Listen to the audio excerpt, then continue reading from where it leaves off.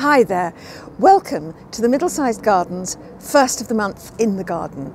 Now, around the first of the month, I go out into the garden and I go right round it and see what's working and what isn't, in the hopes that it'll help you in your garden. So let's go. And this is February and it's dawn. This little patch needs a bit of tidying up, but I think it's very shady and I think it works well in winter.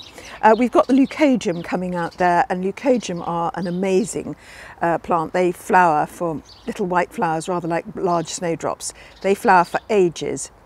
And then here we've got uh, cyclamen leaves and they're so, so pretty. And then over to the right, we've got peace lily coming up. It's just over there. And um, I think if I had my time again, I wouldn't put two variegated leaves together because you don't really get the best of them. Um, however, um, as a patch, it, it just has a bit of light in this really shady corner of the garden. There's no doubt that the star of any winter garden has got to be topiary. I've got this one topiary spiral which I bought from a field in Dorset and those trees at the back uh, were just ordinary trees. The, the holly on the right was just a, a lump of shrub which has been cut into a topiary shape.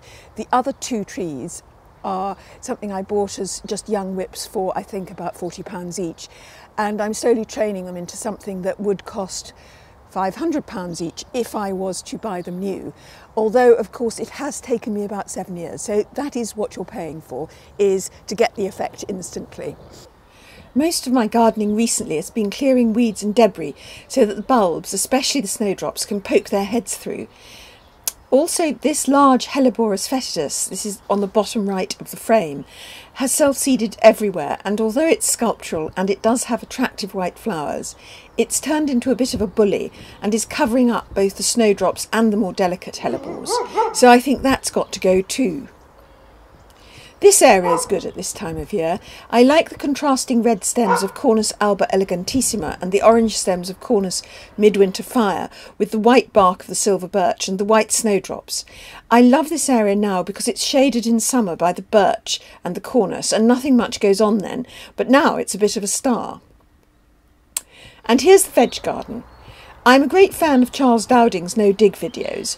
And this February looks very busy in the diary, and I just don't think I'm going to have much time in the garden. So I'm taking Charles's advice and covering my veg beds in black horticultural polythene sheeting. It'll starve the weeds of light and help warm the soil for when I have time to start planting in March. I bought it for £1.50 a metre at a local garden centre and have simply secured it with bricks and heavy pots. Much easier than weed. Join me for next month's first of the month in the garden. I think the changes between cold, windy, rainy February and the beginning of March will be absolutely amazing. Uh, so if you're new here, do subscribe. We upload on Wednesdays and Saturdays and uh, let me know what sort of gardening problems you have and what you'd like to see. I'd love to hear from you. Thank you.